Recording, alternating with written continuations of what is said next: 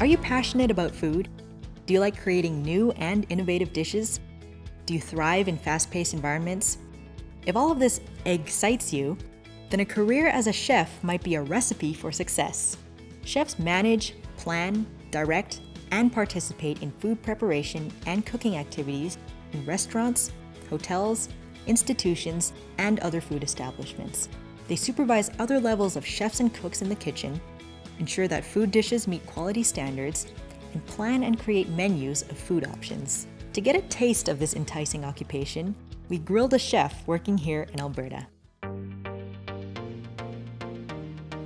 Hi, my name's Jesse, and I'm a chef. Chefs are managers who plan, direct, and uh, participate in food preparation and cooking activities. There's lots of opportunities for a chef. You can work in a restaurant like myself, you can work in hotels, nursing homes, hospitals, so there's tons of different places to get started. Here at our restaurant, the different types of chef is we have regional chefs and they oversee multiple locations. Each location also has a head chef a lot of times that location will have a senior sous chef like myself, and from there we'll have sous chefs and junior sous chefs, line cooks, and prep cooks.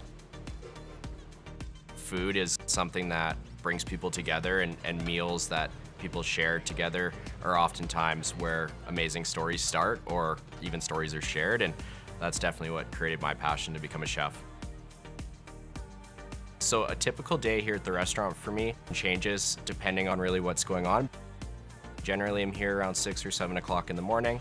I'm checking in with the team to see what we're prepping, what our product concerns are, and then I'll be working with the team in the morning to help them get a good start to their day. From there, we go into our lunch service, checking over food quality throughout the afternoon before having some meetings later in the afternoon and, and heading home. the duties and responsibilities of a chef can be wide ranging depending on the restaurant or environment that you're working in. But some of my day to day duties are training and mentoring our staff, like overseeing food quality, as well as looking at our equipment, making sure that the maintenance is upkept on our equipment. A lot of other responsibilities include ordering, looking at food quality, ensuring that the quality of food that comes into the restaurant on our orders is at the utmost top quality. Some of the skills that are required to be a chef are good personal organization, you definitely have to be outgoing to work with all the different staff members on your team. Being an effective communicator is really important in our industry, as well as being positive in the face of uh, setbacks. And it's great to be creative, as well as having a, good sense for taste and smell. Some of the physical requirements of being a chef is being able to be on your feet for long periods of time. The vast majority of my day is spent on my feet, as well as being able to lift heavy items and being in the heat, it gets uh, pretty hot in the kitchen sometimes.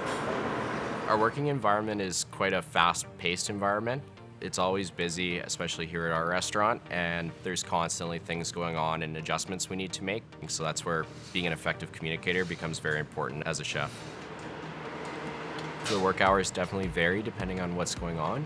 At times you'll be working holidays and, and weekends, but it can really be any time of the day.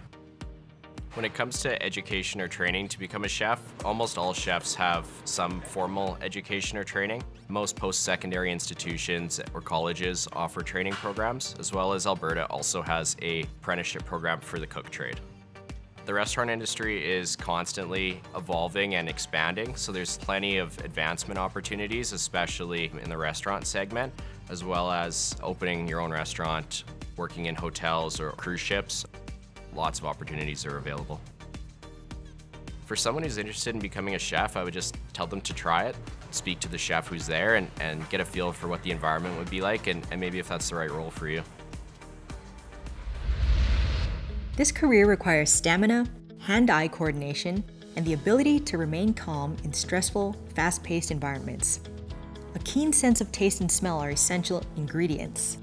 Successful chefs are creative, have excellent leadership skills, and work well with others. If that fills your plate, you may want to prepare for a career as a chef. Feast your eyes on more details of this occupation, including training requirements and salary ranges, by going to the occupational profile on the ALIS website.